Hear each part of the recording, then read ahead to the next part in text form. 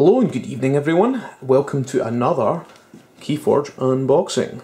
So we're just going to be cracking this pack today and see what we're going to get. So let's pop open the bottom. This will be my seventh Keyforge deck and seven is my lucky number so I'm hoping for something really good. Here we go. Right, so we have the name first of all. It is Boost the Argumentative. That's a pretty cool name. And this deck has logos, it has Untamed, and it has Dis. Fantastic. Let's have a look at the card list. Flip to the back. So you'll see that is the card list there. Looks like we've got some interesting stuff. So we've got a Control of the Weak, which um, uh, for Dis, which is a really good card. I really like that one. Gateway to Dis is really good as well. Mind Barb um, is a good one. Poltergeist I'm not too familiar with. Three Fates, Dominator Bauble's good. Library of the Damned's okay. Uh, Drumbo Pit Demon's pretty good. Uh, Pit Lord, uh, hard to play, but can be quite good. The Terror um, is not brilliant, and Tocsin is okay. So that's not bad. What about logos?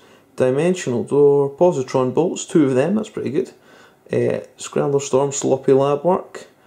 Wild Wormhole, Library of Babble, Library and Spectral Tunneler. That looks okay. I think there's a lot of creatures in that. I'm not as familiar with logos. And finally, oh, hang on.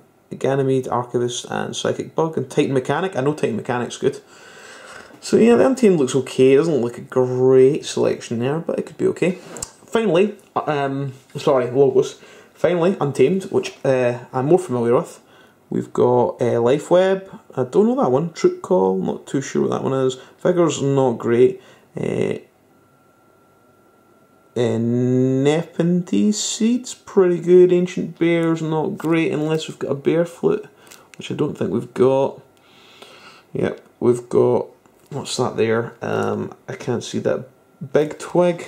Not sure Big Twig is. Um, and then Jufe, Dust Pixie okay. Yeah, Dust Pixie's pretty good. Murmook's alright. Niffle, one Niffleape's not brilliant. And two Hunting Witches. Um, Hunting Witch is pretty good. So yeah, it looks like an okay deck. Could be quite fun. So yeah, that is Boost the Argumentative. It looks like probably it'll be an average deck, not as good as my two better ones, but probably somewhere in the middle. Okay, thanks for watching.